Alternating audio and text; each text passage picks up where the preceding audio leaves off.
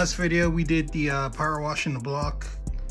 And now I'm trying to get rid of all of the uh, loose paint. That's still left on his engine. Because last thing I want to do is paint this block. And a few weeks a month later all my nice paint start lifting off and I got rust underneath it because of the loose paint that's still left on the block. So as you can see, I started taping off my deck surface. I cleaned that up a little bit on both blocks, the 6.0 and the 5.3. So I'm starting to go the block and you can see paint like right here. All this right here. Try and get that off. I got loose paint. All this, I want to make sure that's off stuff like that right there. Right here, see all that flaking off? I don't want that on my paint job. Prep is everything, man. So like right here, I got a lot of dirt still left.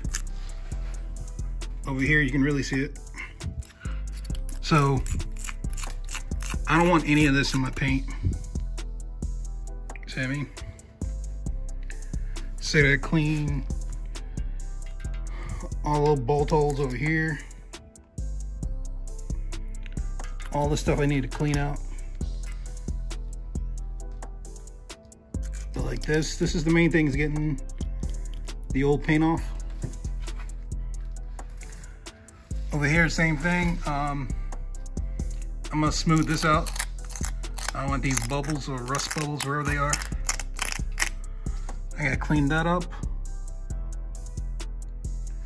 These are pretty clean. That's pretty much how I want the one over here to look. See how filthy that is? So they need to be more like that.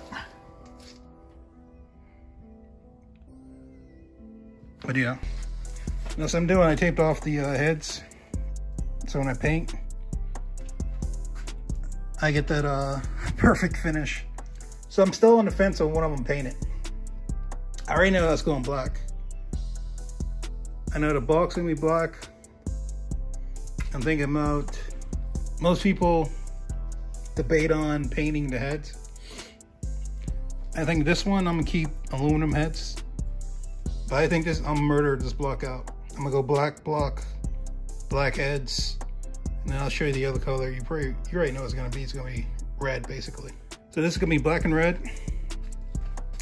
I think this is gonna be like a black, silver, and red, or black, aluminum, and red pattern on the 5.3.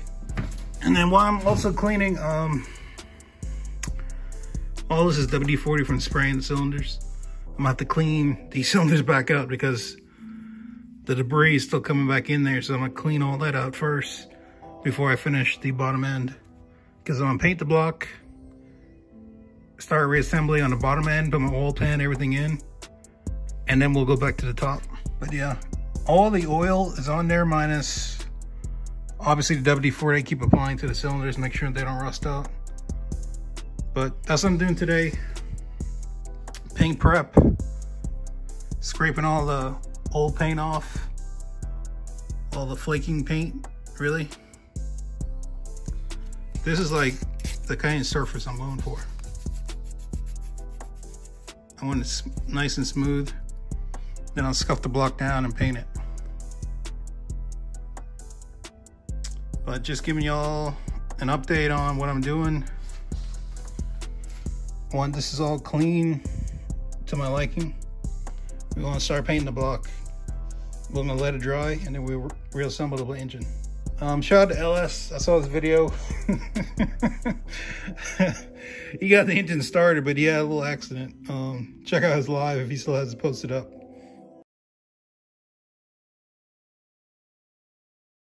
I got a bad feeling about this.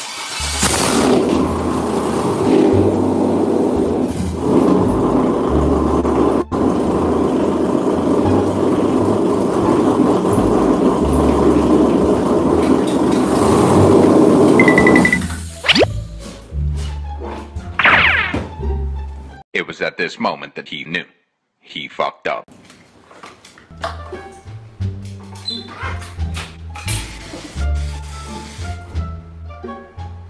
Keep you this shit on deck. Do you understand me?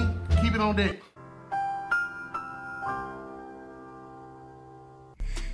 But yeah, shout out to LS. Um, his 6.0's running. And he in there. I'm taking my time. I'm doing it more in depth than his build. Like I said, this is a full rebuild. Bottom, top end, everything.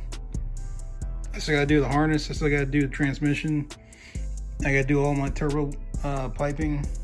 Um, it's gonna take a minute, but I think we're doing a good pace right now. But anyway, that's the homie LSA Ride 254. Um, it just proves, even though we're professionals and we're showing you how to do this, you have to be safe at all time. In my videos, I always practice safety.